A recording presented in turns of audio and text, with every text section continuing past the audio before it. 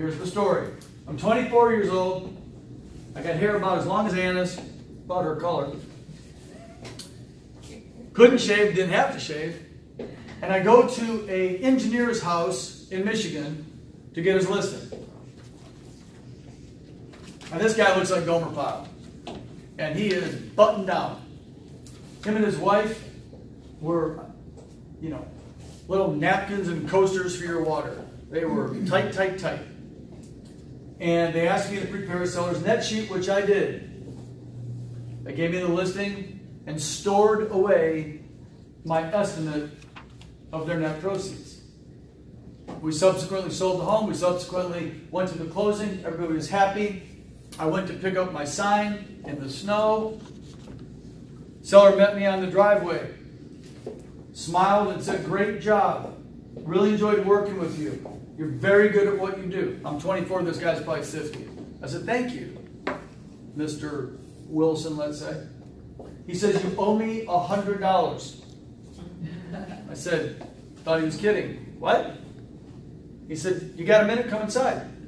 I said, Okay. I thought, what the heck is he talking about? Did I make him a football bet? What, what are we doing? I, I literally thought he was kidding me. We went inside. He pulled out his, at, then, at that time, it was called a settlement statement, a HUD, HUD 1, and shows me my net sheet side by side. And I was $100 off, like $98 and some change off.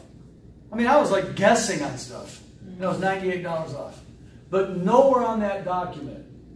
Back then, homes sold fast, so we estimated the closing date. But we nailed the closing date. We actually had that right. So the calculations were pretty easy. But I was I was just under $100 off. He says, you owe me $100. I said, are you serious? He says, I'm dead serious. This was the net that I was expecting. Of course, I was higher than what he got.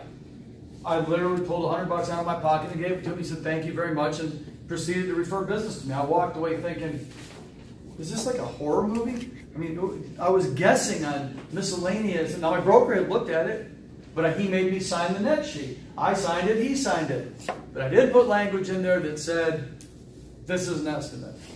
I was $100 off. I was probably in real estate for a year, but I was well trained. I knew the purchase price. I knew about what the purchase price would be. And it was based on the, the exact purchase price, which was full price. It was a full price market back then. I'll never forget, it was $69,900. Sterling Heights, Michigan. 100 bucks off.